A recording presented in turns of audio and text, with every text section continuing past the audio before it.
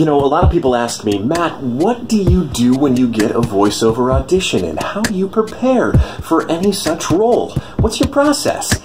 Usually I don't share this, but since we're such good friends now, come along with me. I'll show you.